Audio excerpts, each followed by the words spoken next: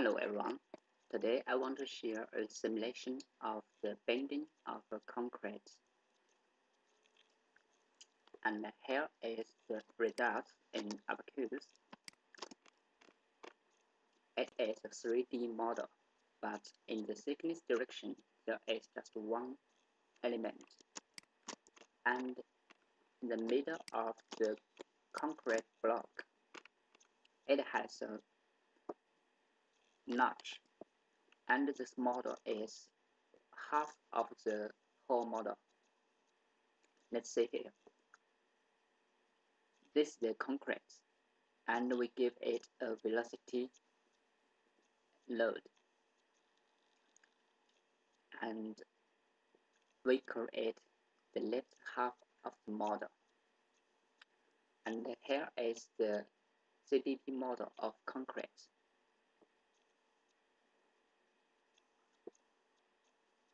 the compressive behavior. And the compressive stress is 2 megapascals and here the tensile behavior and tensile damage. This is the parameters of the CDP model. So in Abaqus how should we input these parameters? Let me show you first.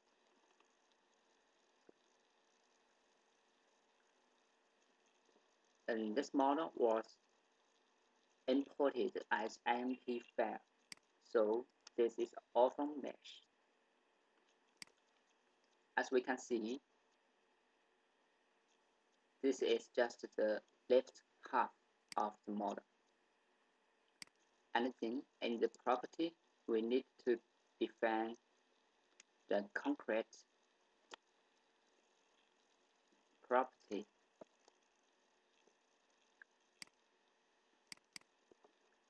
Here we use the concrete damage plasticity and we need to define the elastic Young's modulus and perforation and here the concrete damage plasticity.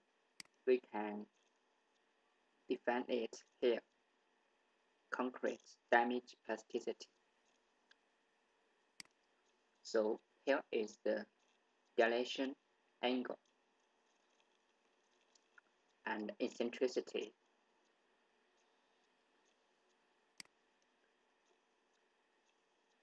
And then we need to define the compressive behavior and the tensile behavior. And in the type, we there are two types, three types we need to could to choose from: the strain and displacement and GFI. And here we use the displacement, or we can use the strain. And if we need to define the compressive damage parameter, we just click the suboptions and here compressive damage. And in this model, we just needed to define the concrete tensile damage because the material in this model are under um, tensile load. So we needed to input the tensile damage parameter here. And also there we can choose strain or displacement. So we choose displacement and the damage parameter. So here is just a linear damage parameters. So this is the material property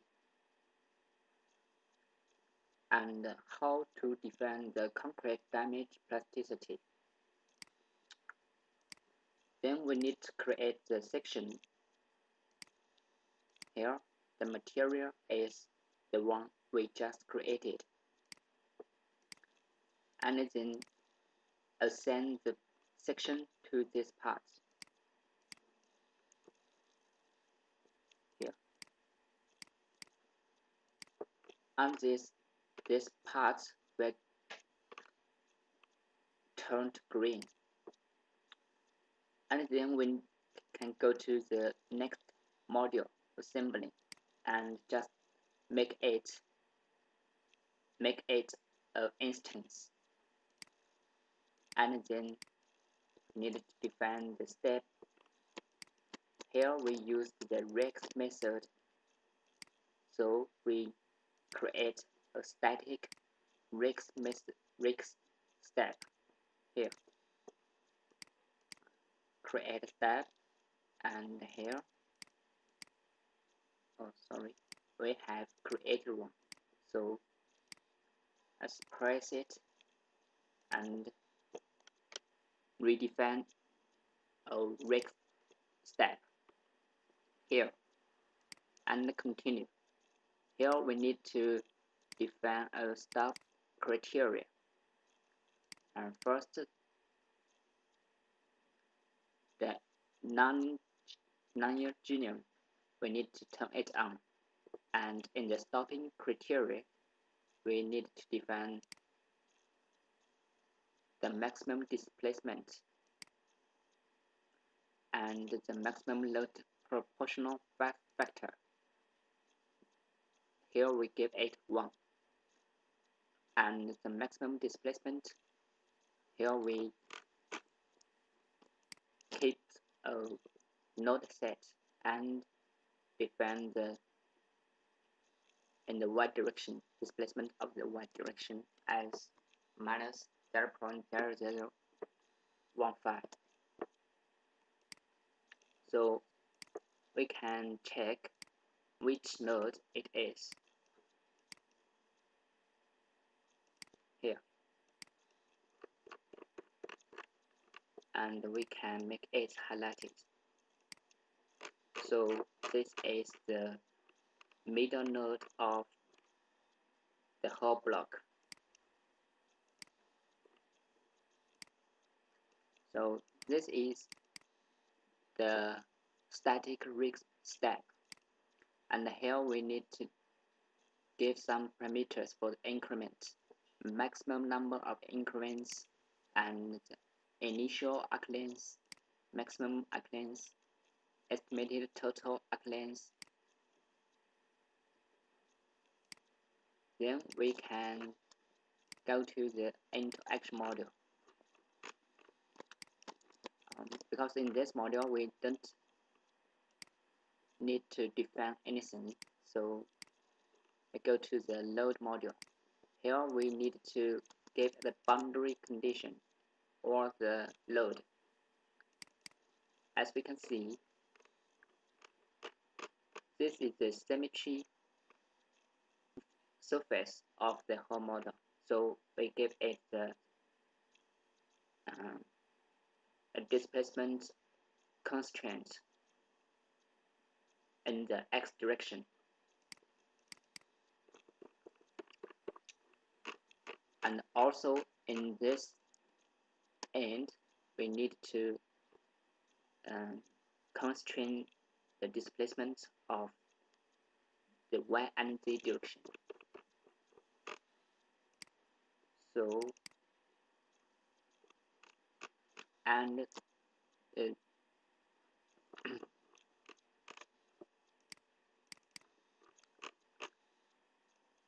and, and at the last there is a velocity load in the top node. Because there are two nodes and we give the velocity of uh, the displacement of the these two nodes in the y direction.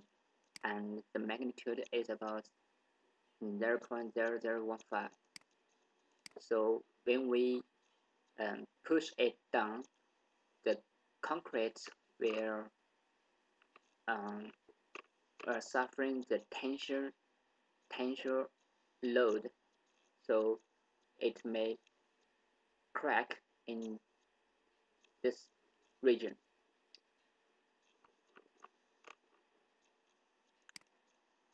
Just as we see in the PowerPoint and here we can get the maximum load the block the concrete block can stand. So this is our target. Uh, let me back to the software. And the element type is C3D8R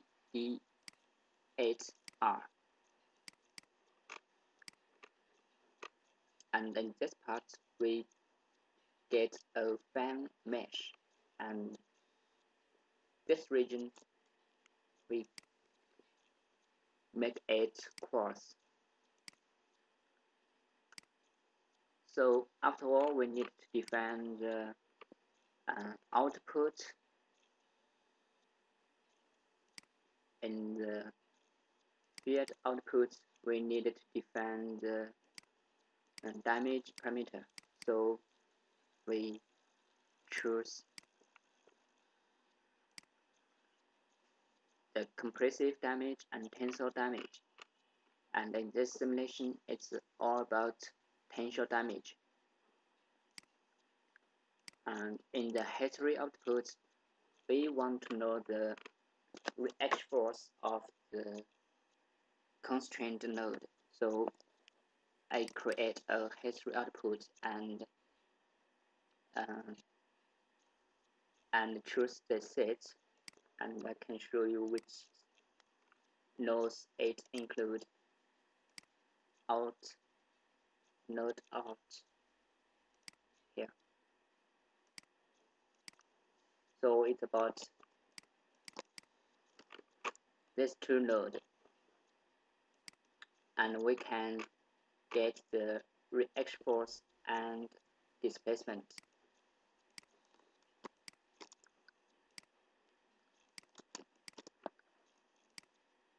so then we can create a job and submit it and make it do the calculation. And then we can check the result. First we need to check the stress.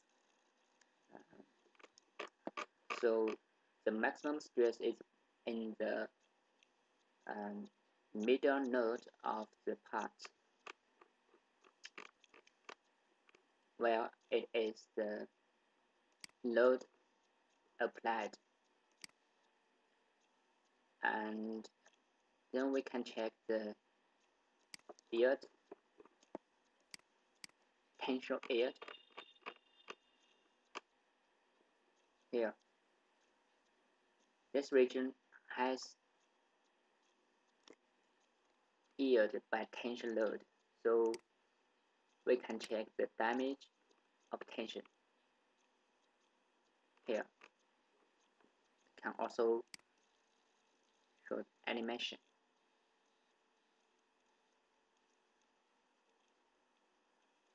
So in the experiment maybe the concrete will crack at at this place and per propagation.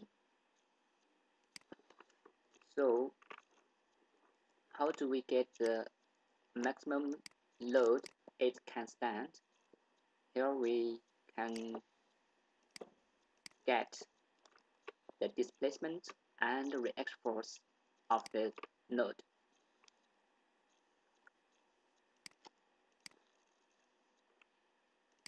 So this one is the reaction force and here is the displacement because the displacement is in the negative y direction. So I want to get it positive. So I need to um,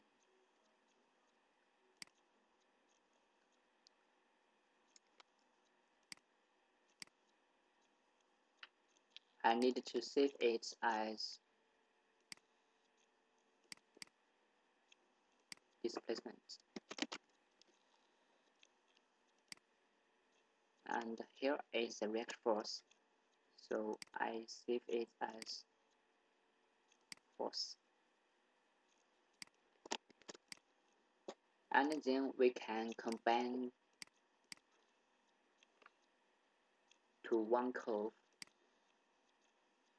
Displacement as x-axis and force. And plot